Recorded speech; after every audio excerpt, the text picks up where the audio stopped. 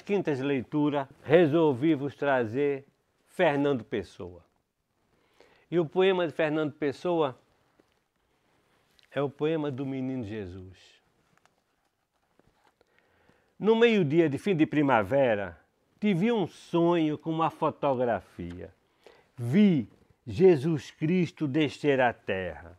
Veio pela encosta de um monte, tornado outra vez menino, a correr e a rolar-se pela erva e a arrancar flores para ajeitar fora, e a rir, de modo a ouvir-se de longe.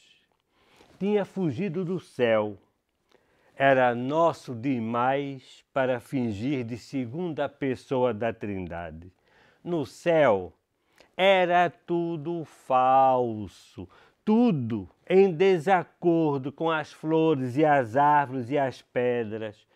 No céu tinha que estar sempre sério e de vez em quando se tornar um homem e subir para a cruz e estar sempre a morrer com uma coroa toda a roda de espinhos e os pés espetados por um prego com cabeça e até com um trapo à roda da cintura, como os pretos das ilustrações.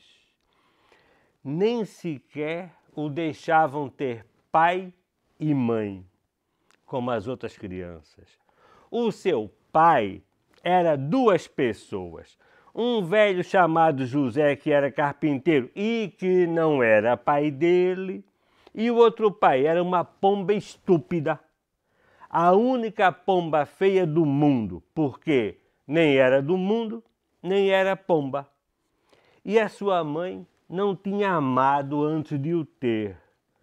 Não era mulher, era uma mala em que ele tinha vindo do céu e queriam que ele, que só nascera da mãe e que nunca tivera pai para amar com respeito, pregasse a bondade e a justiça.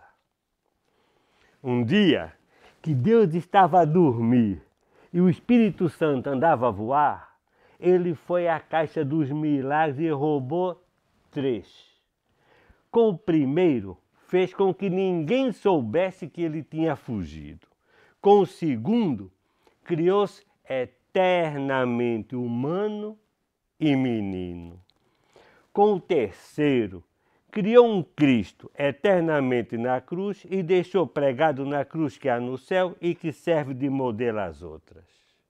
Depois, fugiu para o sol e desceu no primeiro raio que apanhou.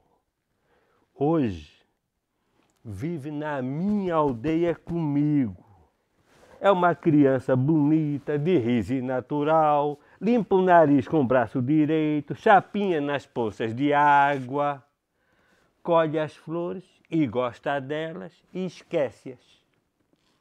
Atira pedra aos burros, rouba a fruta dos pomares e foge a chorar e a gritar dos cães. E porque sabe que elas não gostam e que toda a gente acha graça, corre atrás das raparigas que vão em rancho pelas estradas com as bilhas às cabeças e levanta-lhes as saias. A mim ensinou-me tudo. Ensinou-me a olhar para as coisas, aponta-me todas as coisas que há nas flores. Mostra-me como as pedras são engraçadas quando a gente as tem na mão e olha devagar para elas. Diz-me muito mal de Deus.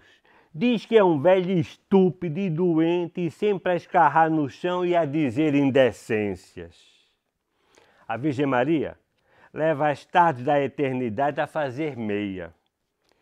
E o Espírito Santo coça-se com o bico e empoleira-se nas cadeiras e sujas tudo no céu é estúpido como a Igreja Católica. Diz-me que Deus não percebe nada das coisas que criou, se é que Ele as criou, do que duvido. Ele diz, por exemplo, que os seres cantam a sua glória. Mas os seres não cantam nada. Se cantassem, seriam cantores. Os seres existem e mais nada, e por isso se chamam seres. E depois, já cansado de dizer mal de Deus, o menino Jesus adormece nos meus braços e eu levo ao colo para casa. Ele mora comigo na minha casa a meio do outeiro. Ele é a eterna criança, o Deus que faltava. Ele é o humano que é natural. Ele é o divino que sorri e que brinca. É por isso que eu sei com toda a certeza que ele é o menino Jesus verdadeiro. E a criança, tão humana que é divina, é esta minha cotidiana vida de poeta. E é porque ele anda sempre comigo que eu sou poeta sempre. E que o mínimo olhar me enche de sensação. E o mais pequeno som, seja do que for, parece falar comigo. A criança nova que habita onde vivo, dá-me uma mão a mim e a outra a tudo que existe. E assim vamos os três pelo caminho que houver, saltando e cantando e rindo e gozando o nosso segredo comum, que é saber por toda parte que não há mistério no mundo e que tudo vale a pena. A criança eterna acompanha-me sempre. A direção do meu olhar é o seu dedo apontado. O meu ouvido atento alegremente a todos os sons são as cócegas que ele me faz brincando nas orelhas.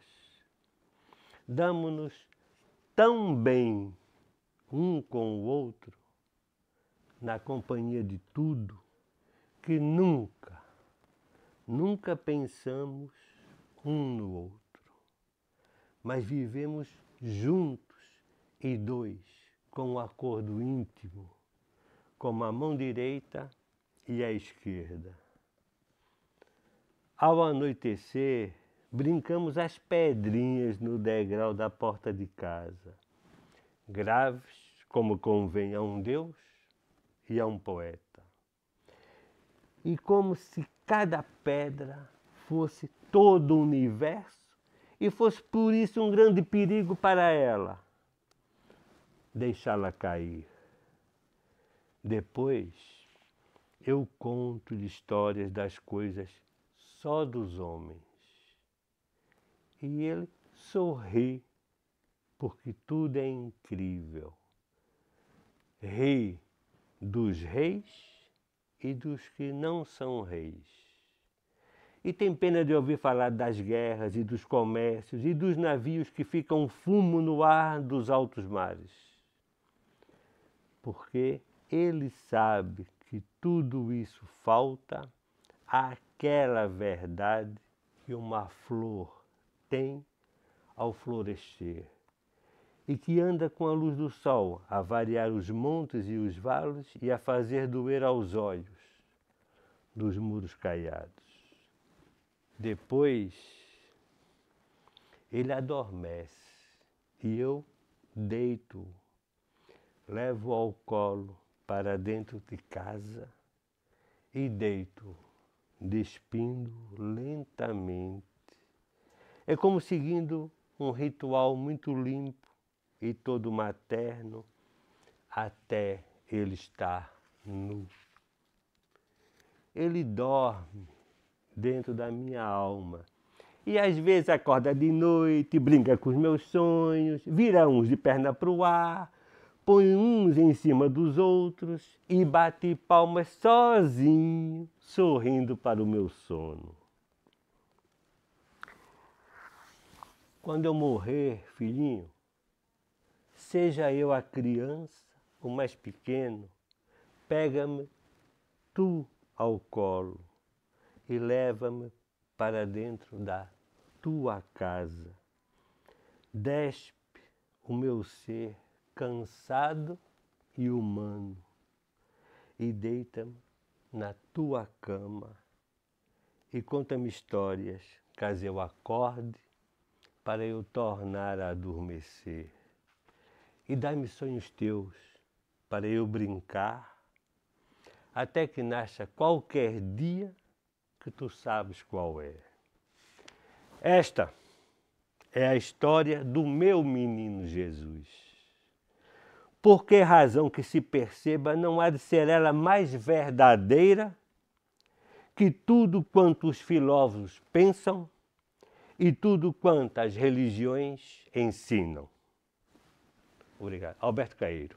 Obrigado. Até a, até a próxima quinta.